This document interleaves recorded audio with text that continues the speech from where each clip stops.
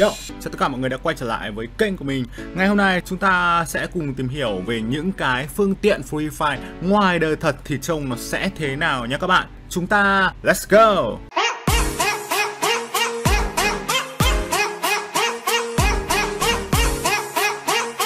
Đầu tiên thì uh, đây chính là máy bay nha mọi người Mọi người có thắc mắc là nếu mà máy bay trong game Free Fire ngoài đời thật thì trông nó sẽ thế nào nhỉ? À, và đây chính là hình ảnh. Wow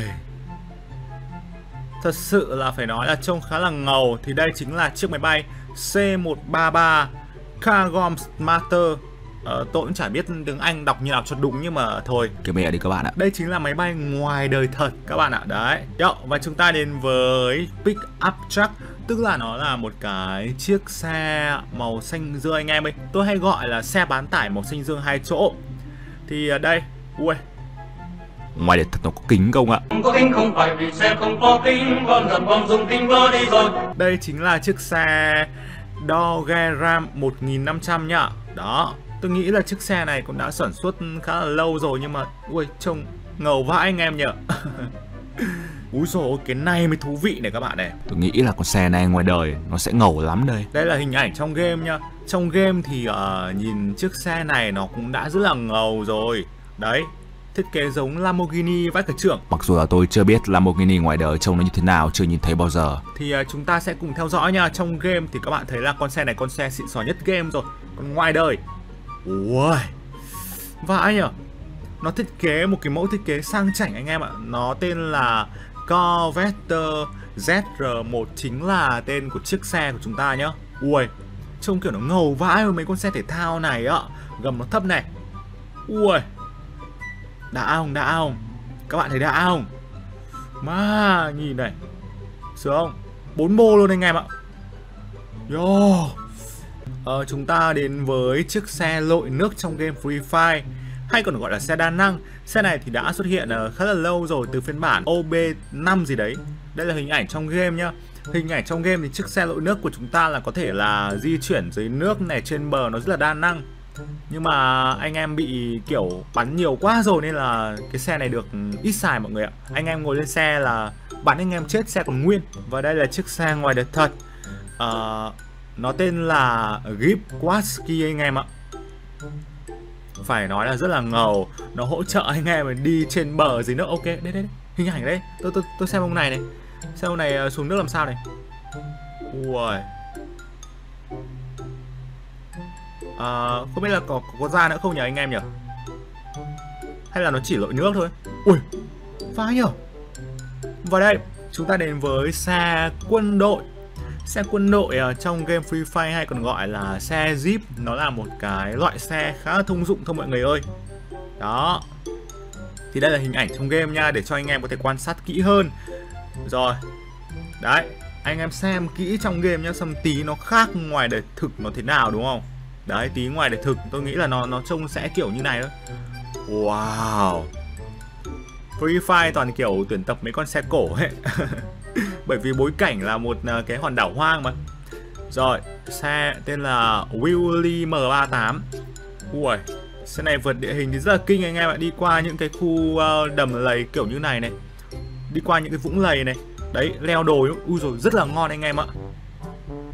Ok, đến với con xe Monster Truck. Ui, cái này mới là điều tôi bất ngờ này. Không biết là con xe ngoài đời thật trông nó sẽ thế nào anh em ạ. Thật sự anh em trong game thì các bạn nhìn này thôi. Ngoài đời thật thì tôi tôi hay gọi nó là con xe máy cày nhỉ. Wow. Vãi à, không ngờ anh em ạ. Đây là con xe Monster Truck ngoài đời thật nha các bạn nha Ui, kiểu nhìn này. Nhìn trông rất là đã luôn, bánh to vãi trưởng các bạn ạ. Được thật sự chứ là anh em Trông to vật vã này. Ui, cán xe kìa. What? Ma, ghê nhở Ok đến với chiếc xe máy của chúng ta đây. Thì uh, cơ bản ở trong game các bạn thấy không ạ?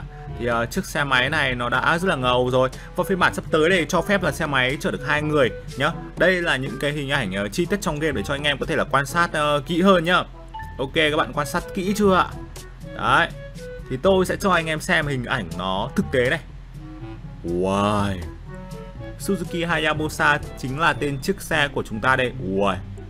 Trông kiểu nó rất là ngầu các bạn ạ. Úi dồi. Má quả lốp xe to nhở Ui Đã thật đấy anh em.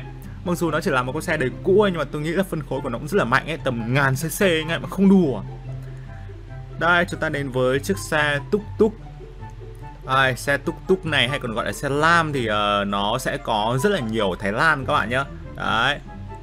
Thì đây, đây là hình ảnh trong game nhá Tôi nghĩ là xe này anh em cũng ờ, không sành nhiều đâu Cơ bản là xe này á Đi sợ vãi anh em ạ. Ui Vãi nhở, trông ngầu vãi nhở. Trông mấy con xe này kiểu cute là yêu vãi. Ok các bạn. Hình ảnh uh, xe thực tế tại Thái Lan nhá xem túc túc nhá Ui Cái xe nó cứ phải là gọi là xanh đỏ tím vàng nó mới chịu anh em ạ. Đồng bóng vãi nổi. Ok, chúng ta đến với uh, cái uh, dù lượn. Dù lượn trong game Free Fire các bạn có thể thấy là đây. Đó. Anh em nhìn kỹ nhá, các bạn nhìn kỹ nhá. Dù lượn trong game Free Fire thì đây anh em bay rất là phê rồi. Ok thì uh, dù lượn này có thể giúp anh em uh, bay rất là xa luôn. Anh em từ một cái vị trí trên cao này. Nếu mà dù lượn ngoài đời thật đây. Wow Anh em thấy thấy đã không ạ? Ước gì tôi có một cái dù lượn để bay vòng quay Đà Nẵng Đấy, cái cái này là phiên bản màu đỏ này giống trong game này. Ui. cái dù lượn này anh em có thể lượn rất là phê nhá, đấy. Bay, bay ngắm cảnh phải nói là vô cùng là thích luôn anh em ơi. Ui. Được, thật sự anh em ạ. Ok, thì ngày hôm nay chúng ta đã cùng tìm hiểu về những cái phương tiện trong cái Free Fire Ngoài đời thật thì nó sẽ thế nào. Nếu như mà anh em thấy video này thú vị thì các bạn đừng quên đấy là hãy nhấn like và chia sẻ video giúp mình nhá. Cảm ơn anh em rất là nhiều. Bye bye.